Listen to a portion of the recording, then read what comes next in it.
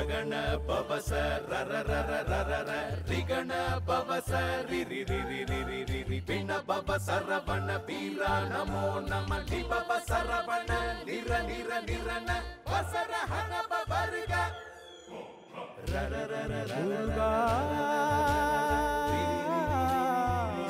ಮುರುಗಾ ಮುರುಗಾ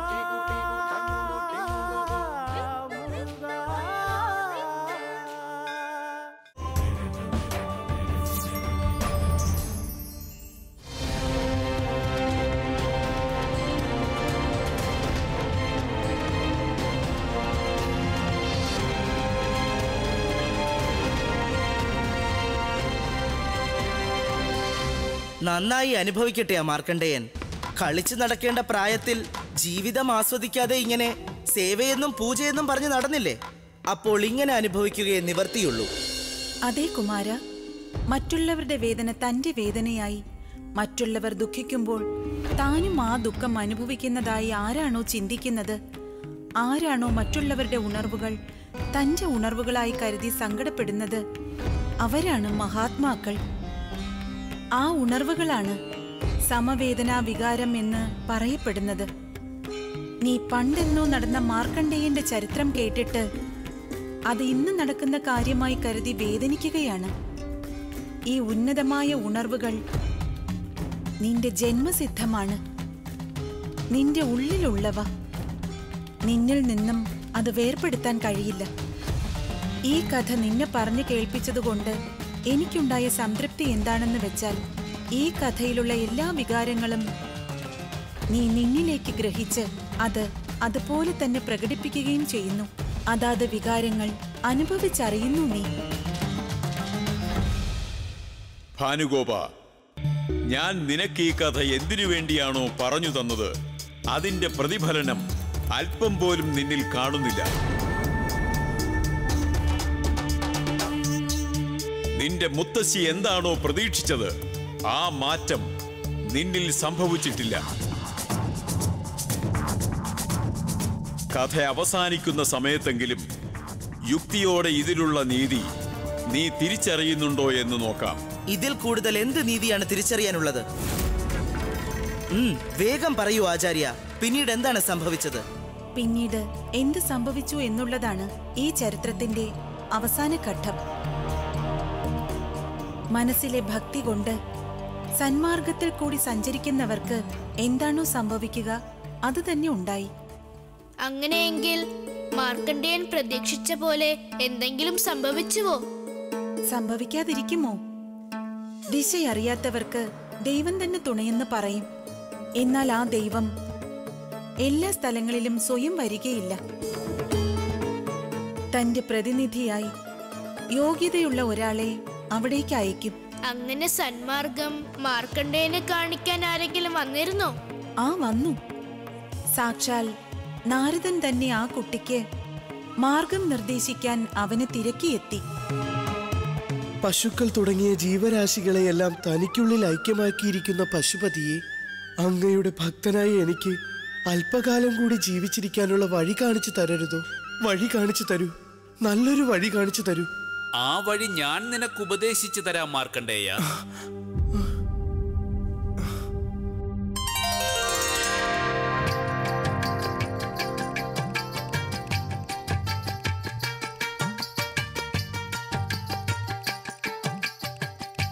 എന്റെ അച്ഛൻ തുടങ്ങിയ മുനിമാർ എല്ലാ കാലവും പുകഴ്ത്തി സ്തുതിക്കുന്ന നാരദ മുനി വരിയ ഉടനെ മരിക്കാൻ പോകുന്ന ഈ ഉള്ളവന് വഴി ഉപദേശിക്കാമെന്ന് പറഞ്ഞുവല്ലോ. അതെങ്ങനെ സാധിക്കും?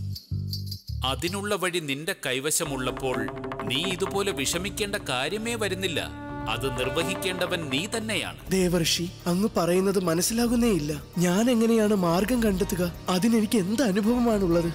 എന്റെ മാതാപിതാക്കളോട് എനിക്ക് ആയുസ് നീട്ടിക്കിട്ടാനുള്ള വരം ഈശ്വരനോട് യാചിച്ച് നേടിയിട്ട് വരാമെന്ന് പറഞ്ഞിരുന്നു. അതിനെന്താണ്? അങ്ങനെ ചെയ്യുന്നതിൽ തടസ്സം എന്താണുള്ളത്?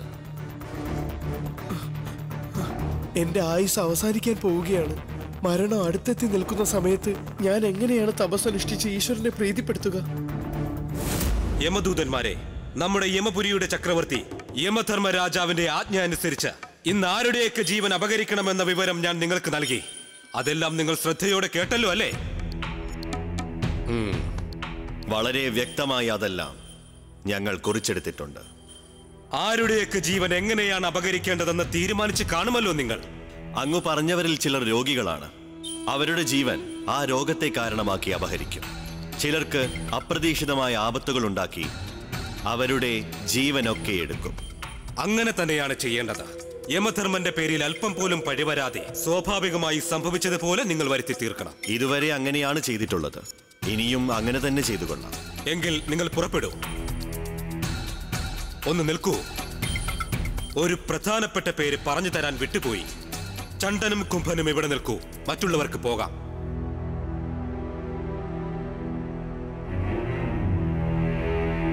ചണ്ട കുംഭ നിങ്ങൾ ഇന്ന് ജീവൻ അപകരിക്കേണ്ട വ്യക്തിയുടെ പേരെന്താണെന്ന് അറിയാമോ മാർക്കണ്ഠേയ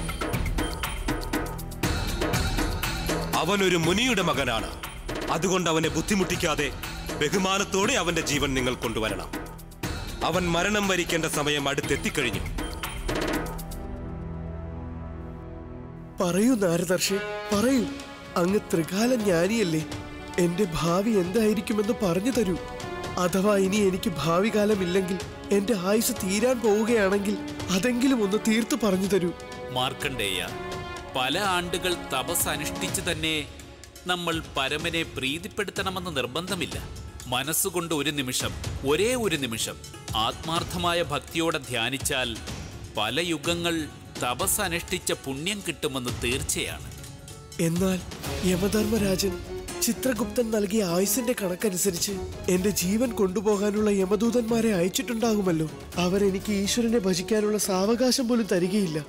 എന്തിനാണ് ഇങ്ങനെയൊക്കെ ചിന്തിക്കുന്നത് മാർക്കണ്ടേയ ഈശ്വരനെ ഭജിക്കാൻ സ്ഥിതി വിഷയം ആജ്ഞ തുടങ്ങിയവയൊക്കെ നോക്കേണ്ടതുണ്ടോ?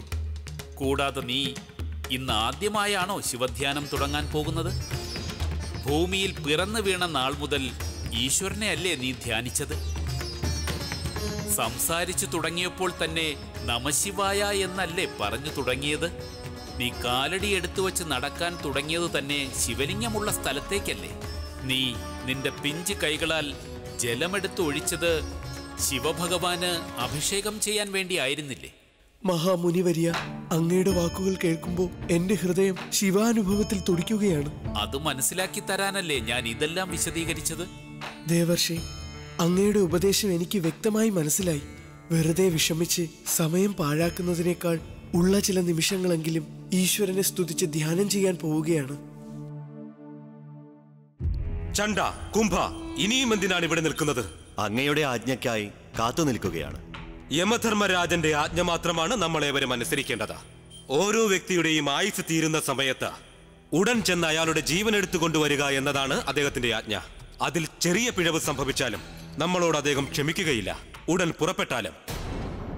മാർക്കണ്ടേയ്യ ഇതാണ് നിന്നിൽ നിന്നും ഞാൻ പ്രതീക്ഷിച്ചത്. വിചാരിക്കുന്ന നിമിഷം തന്നെ മനക്കണ്ണിൽ ഈശ്വരനെ ദർശിക്കാനുള്ള സിദ്ധി നേടിയവനാണ് നീ. നീ ജന്മമെടുക്കുന്നതിന് മുൻപ് തന്നെ ശിവഭക്തനായിട്ടേ ജനിക്കൂ എന്ന് സാക്ഷാൽ ശിവഭഗവാൻ അനുഗ്രഹം നൽകിയിട്ടുണ്ട് നിനക്ക്. അതുകൊണ്ട് നിന്റെ അപേക്ഷ അദ്ദേഹം നിറവേറ്റുന്നതാണ്. മരണത്തെ അതിജീവിക്കാൻ വഴി കാണിച്ചു തരും. ആഹാ ദേവർഷി ഈ ഉള്ളവനെ മാനിച്ച് അങ്ങ് എനിക്ക് നേരിൽ വന്ന ധൈര്യം നൽകിയിരിക്കുകയാണ്. ഭക്തിയുടെ മഹത്വം പൂർണമായും എനിക്ക് മനസ്സിലാക്കി തന്നു. കാരുണ്യവാനായ ഈശ്വരന്റെ പാദങ്ങളെ ഈ നിമിഷം മുതൽ പൂജിക്കുന്നതാണ്. പൂർണ മനസ്സോടെ ത്രിനേത്ര ഭഗവാനെ ധ്യാനിക്കുന്നതാണ്. അനുഗ്രഹിച്ചാലും എന്നെ.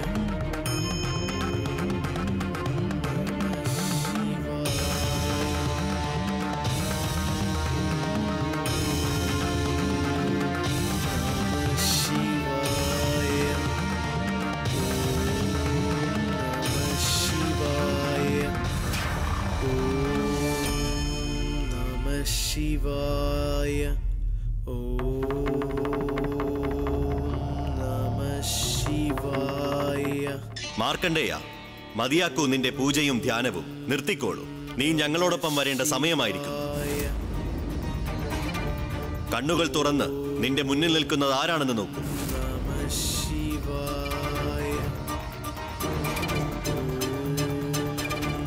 എന്താണ്? പൂർണമായി ധ്യാനത്തിൽ മുഴുകിയതുപോലെ ഞങ്ങളോട് അഭിനയിക്കുകയാണോ?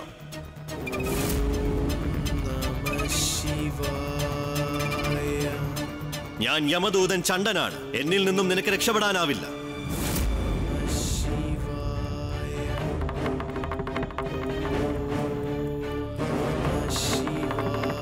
മാർക്കണ്ടേയ നിന്റെ ജീവൻ നഷ്ടപ്പെടുമല്ലോ എന്ന് കരുതി വിഷമിക്കേണ്ടതില്ല.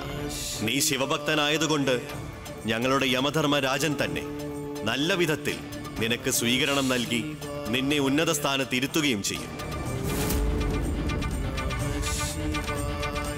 അതുകൊണ്ടിങ്ങനെ വിഷമിക്കാതെ ഞങ്ങളോടൊപ്പം വേഗം വരൂ.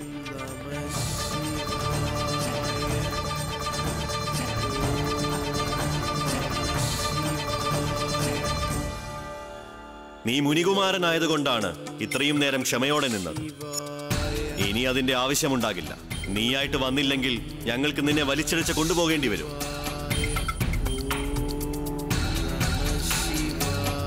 ഇനിയും കാത്തു നിൽക്കാൻ കഴിയില്ല. കുംഭ വരൂ. അവനെ പിടിച്ചു കെട്ടി അവന്റെ ജീവനും കൊണ്ടുപോകാം.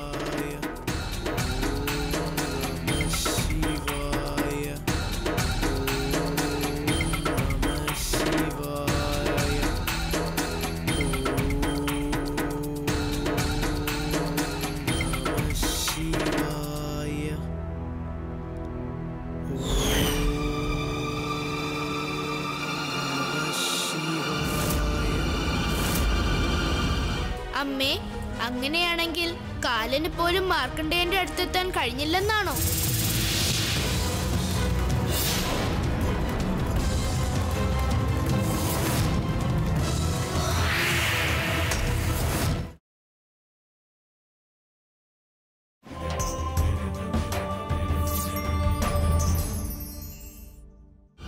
ഇപ്പോഴാണ് എനിക്ക് ഈ കഥയോട് ഒരു താല്പര്യം തോന്നുന്നത്. ഉന്മേഷം തോന്നുന്നത്. ധ്യാനമെന്നും പൂജയെന്നും യമദൂതന്മാരെ എപ്പോഴും കബളിപ്പിക്കാൻ പറ്റുമോ?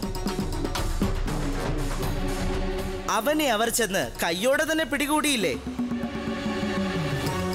ഓം നമ ശിവായ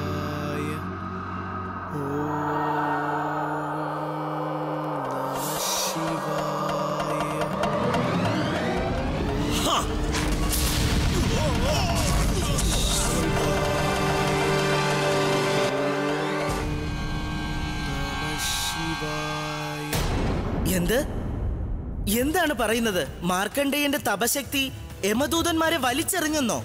അവർ അവരുടെ പരാജയം സമ്മതിച്ച് അവിടെ നിന്ന് ഓടി രക്ഷപ്പെട്ടെന്നോ? തപസ്സിന്റെ മഹത്വം അവർ വ്യക്തമായി മനസ്സിലാക്കിയിരുന്നുവെങ്കിൽ അങ്ങനെ തന്നെയാവും ചെയ്തിട്ടുണ്ടാവുക. എന്നാൽ യമദൂതന്മാർ അത് ശരിക്കും മനസ്സിലാക്കിയില്ല എന്നത് അടുത്ത ഘട്ടത്തിലെ അവരുടെ പ്രവൃത്തിയിൽ നിന്നും മനസ്സിലായി.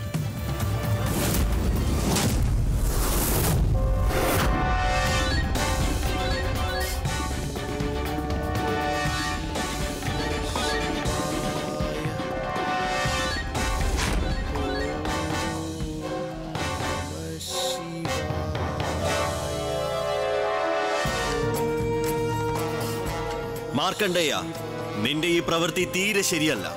ഞങ്ങളുടെ ദൗത്യം ചെയ്യാൻ അനുവദിക്കാതെ തടയാൻ ശ്രമിക്കുകയാണ് നീ.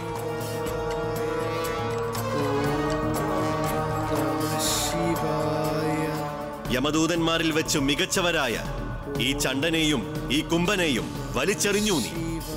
ഇനി നീ കണ്ടോളൂ. ശിവായ. ഓം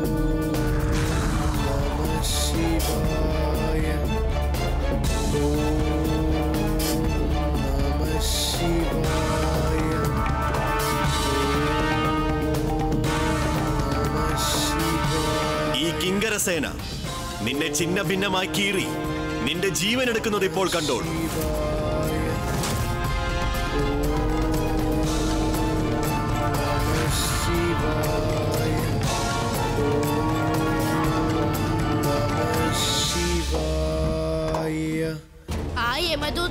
അഹങ്കാരമോ? ഒരിക്കൽ കണക്കിന് കിട്ടിയിട്ടും വീണ്ടും സേനയുമായി വന്ന് ഉപദ്രവിക്കുന്നുവല്ലോ. യമദൂതന്മാർ രണ്ടു പേരായതിനാലാണ് അവന് വലിച്ചെറിയാൻ കഴിഞ്ഞത്. യമധർമ്മന്റെ മുഴുവൻ സൈന്യവും അവനെ ബന്ധിക്കാൻ വരികയാണ്. ഇനി അവൻ അവരിൽ നിന്നും രക്ഷപ്പെടാൻ കഴിയില്ല.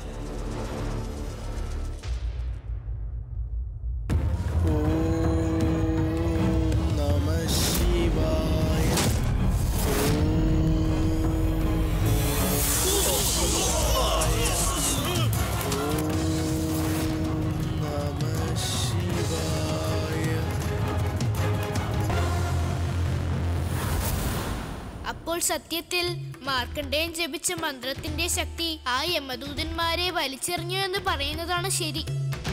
അവർക്ക് അയാളെ ഒന്നും ചെയ്യാൻ കഴിഞ്ഞില്ലെന്ന് പറയൂ. ശരിയല്ലേ? അതെ മുരുക.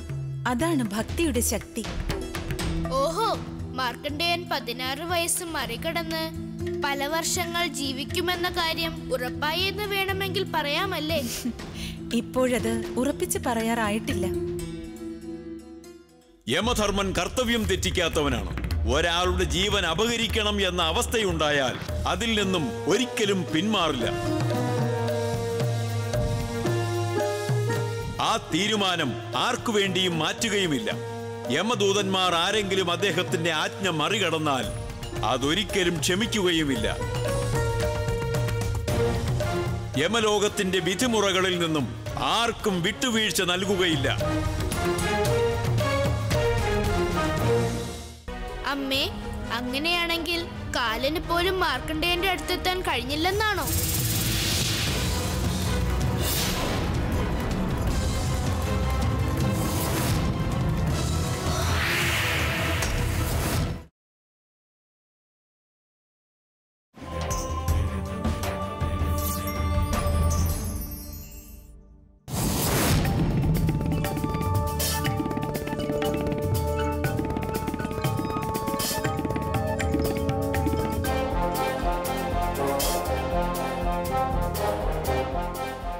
ഭീരുക്കളെ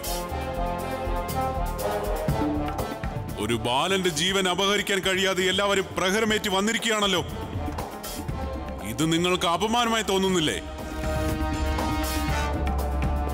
എന്റെ പേരെന്താണ്? യമധർമ്മൻ. ധർമ്മം സ്ഥാപിക്കേണ്ടവനാണ്. എന്റെ ധർമ്മം ഒന്നു മാത്രമാണ്.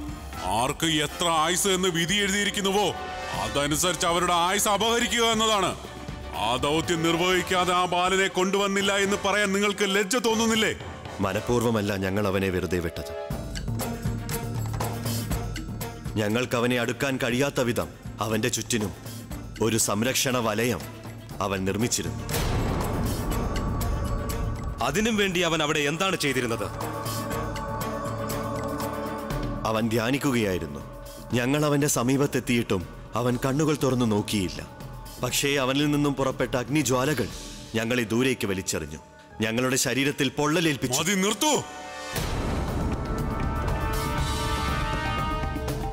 ഇന്ന് വരെ ഈ യമധർമ്മന് സംഭവിച്ചിട്ടില്ലാത്ത കളങ്കമാണ് നിങ്ങൾ നേടിത്തന്നിരിക്കുന്നത്.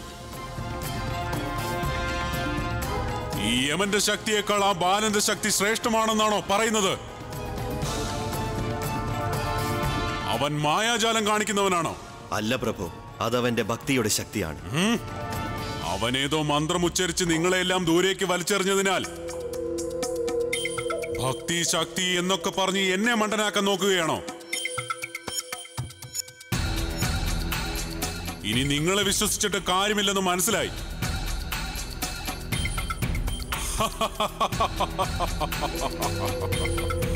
ഇനി ഞാൻ എനിക്ക് തുല്യനാണെന്ന് കരുതുന്ന സേനാപതി കാലനെ അവിടേക്ക് അയക്കുന്നതാണ്. ഞാൻ അയക്കുന്ന ആ കാലൻ അവന്റെ ആയുഷ്കാലം അവസാനിപ്പിച്ച് ആ ജീവൻ അപഹരിക്കുകയും ചെയ്യുന്നതാണ്.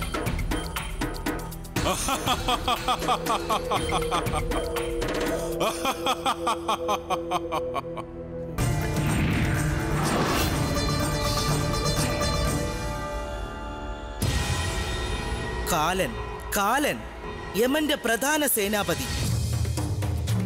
യമന്റെ വലത് കൈയായി പ്രവർത്തിക്കുന്നവൻ. എന്റെ അച്ഛൻ അവനെക്കുറിച്ച് പലതവണ പറഞ്ഞു തന്നിട്ടുണ്ട്.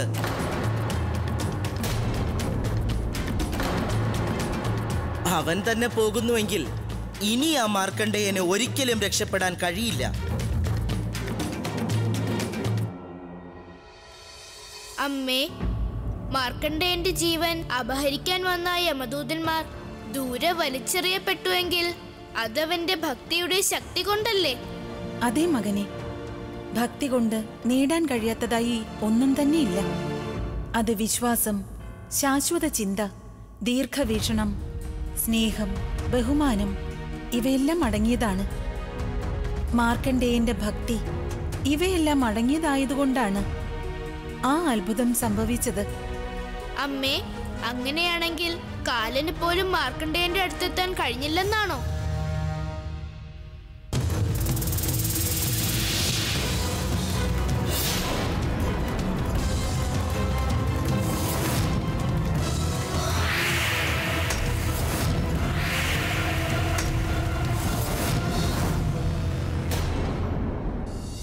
യമധർമ്മ എന്റെ ശിവലിംഗ സ്വരൂപം കണ്ട ശേഷവും നിൽക്കാതെ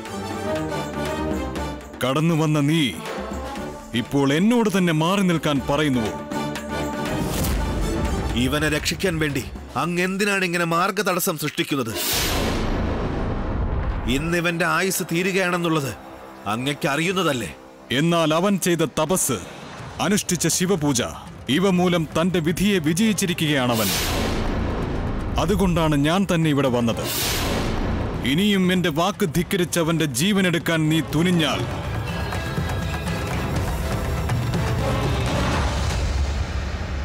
എങ്കിൽ എന്നെ മറികടക്കൂ കാണട്ടെ.